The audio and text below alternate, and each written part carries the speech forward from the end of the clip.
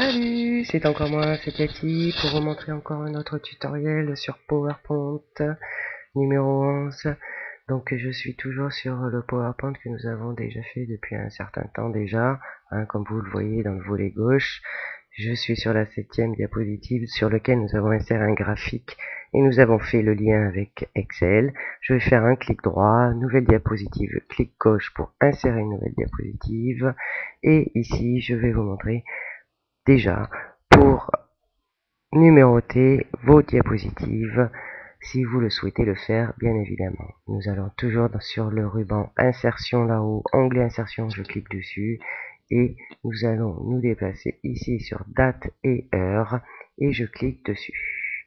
Je peux donc insérer sur mes diapositives la date et l'heure. Je clique dans le rond date et heure. Je peux aussi mettre à jour donc euh, ma date qui sera mise à jour tous les jours ou fixer la date d'aujourd'hui, ce qui va être mon cas pour aujourd'hui. Mais c'est vous qui décidez, soit mise à jour automatique, soit fixe pour fixer la date d'aujourd'hui à laquelle vous avez fait peut-être votre diaporama, c'est vous qui décidez. Je peux ainsi aussi insérer le numéro de diapositive. Je clique sur numéro de diapositive dans le petit carré ici je coche numéro de diapositive et je peux aussi mettre un pied de page, ce qui n'est pas obligatoire évidemment. Dans le pied de page, on va mettre ce que l'on veut, par exemple diaporama, PowerPoint, pourquoi pas, c'est une question de goût mais ce n'est pas obligatoire. Tout ceci va s'afficher comme vous pouvez le voir à droite, à dans l'aperçu, tout en bas à droite, hein, le pied de page, la date et l'heure et le numéro de la diapositive. Vous avez la possibilité donc d'appliquer uniquement à cette diapositive là qui est la numéro 8 en cliquant sur appliquer ou appliquer partout et ça s'appliquera sur toutes les diapositives et c'est ce que je vais faire appliquer partout voyez tout en bas, diaporama PowerPoint, c'est le pied de page, la date et le numéro de la diapositive. Si je clique sur la diapositive ici dans le volet gauche, vous voyez bien en bas le pied de page, la date, le numéro de diapositive. Ainsi, c'est fait pour toutes les diapositives. Hein. Bien évidemment, vous aurez votre pied de page, votre numéro et votre date, puisque vous l'avez appliqué partout. Voilà pour insérer la date et l'heure, le numéro de diapositive et le pied de page.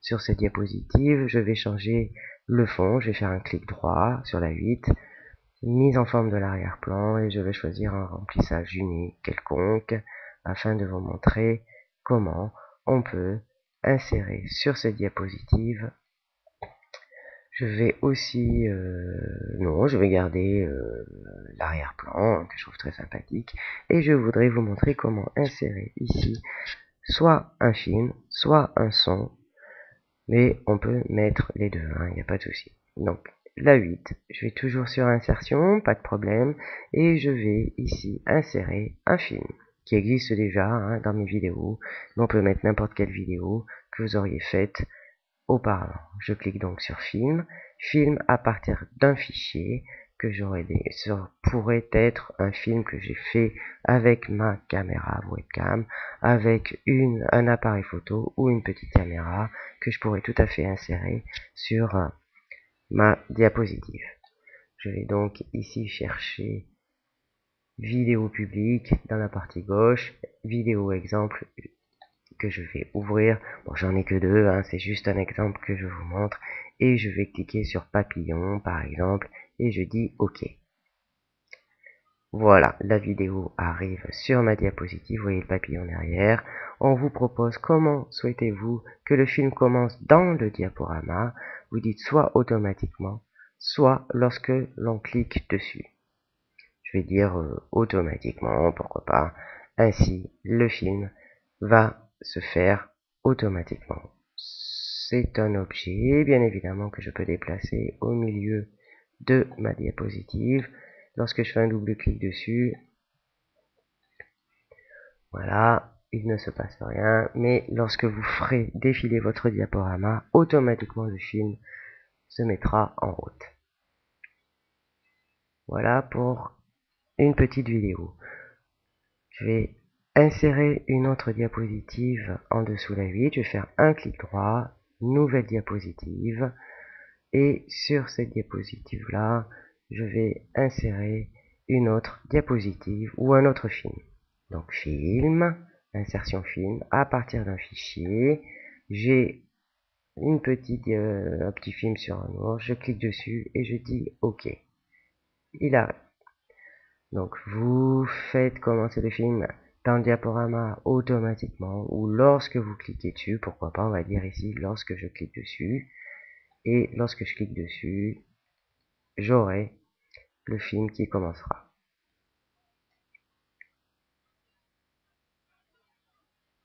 Voilà.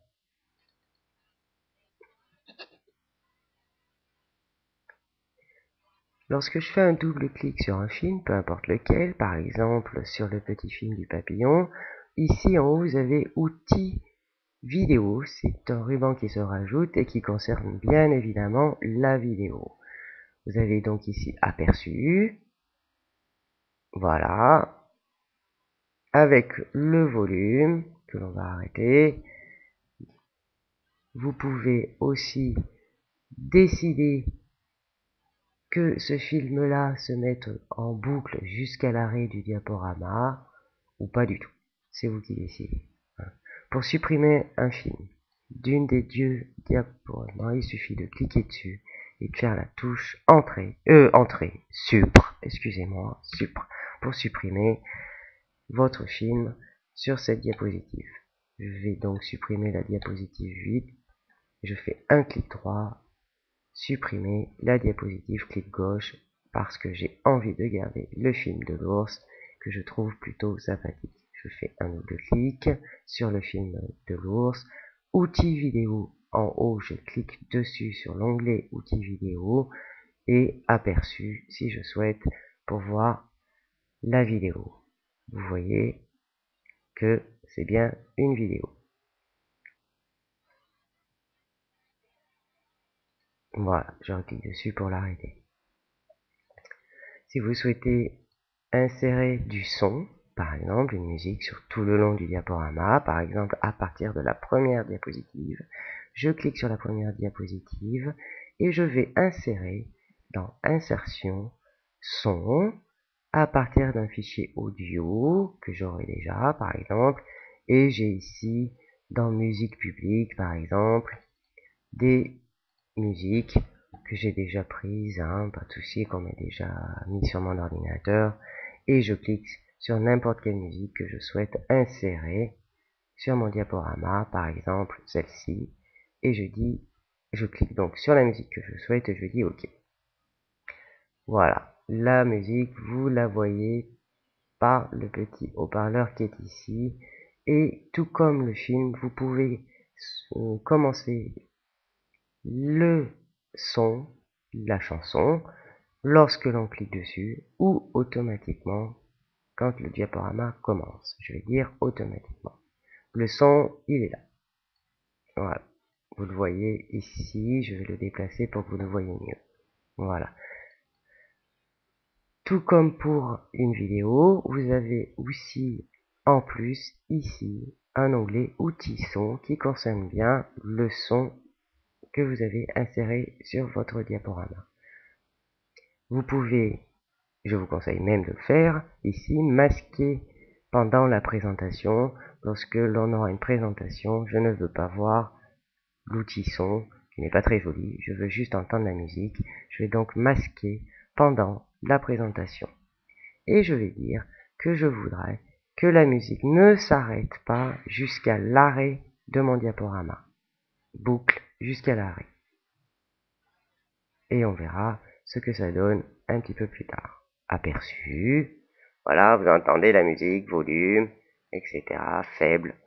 Le volume, vous pouvez le mettre faible, moyen, élevé, muet. Et vous entendez bien la musique. J'enregistre mes données, car j'ai bien inséré du son sur ma première diapositive, et j'ai inséré un film, une petite vidéo sur ma dernière diapositive tout en bas. comme vous pouvez le voir. J'ai ainsi donc plusieurs choses et maintenant j'ai plein plein plein de choses sur mes diapositives, des images, des objets, des graphiques, un organigramme, un tableau, etc., du texte, du son et une vidéo. J'enregistre l'ensemble et je vous dis à bientôt pour un autre tutoriel.